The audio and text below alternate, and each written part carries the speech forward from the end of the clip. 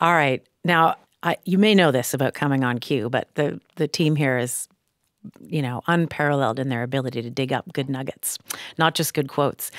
Um, but here's one. I read uh, in my research that they provided me that you once tried to dye your hair white like Frank Sinatra's hair looked in the late 1960s. Is that true? Yeah, yeah, yeah.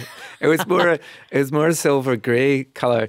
I remember he, he, shared that exact same color with my uncle Harry, and I always admired my uncle Harry. It was a kind of diplomatic silver.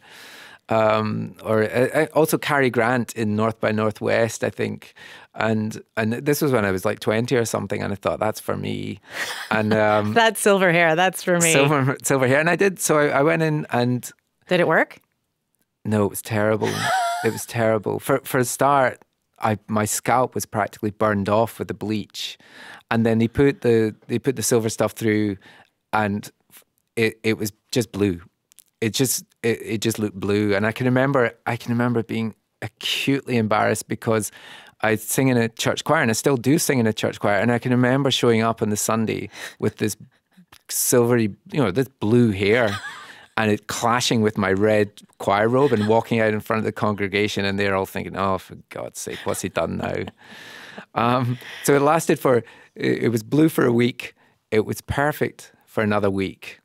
It was silver. It was silver. And then after that, it just went, it, it just went Warhol blonde.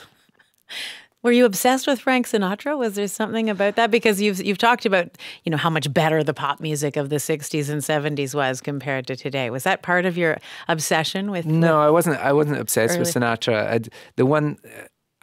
I don't know if I really like Sinatra that much. I love his music, but as a persona, I didn't really. You know, it's was, it more like the later pop stars that I dug. But the one thing about Sinatra is I loved the I love the idea of the Nelson Riddle arrangements. I love the idea that Sinatra could make three records a year while touring simply because he had this organization of songwriters and arrangers and he'd walk into a studio and everything would be ready and his interpretations were amazing.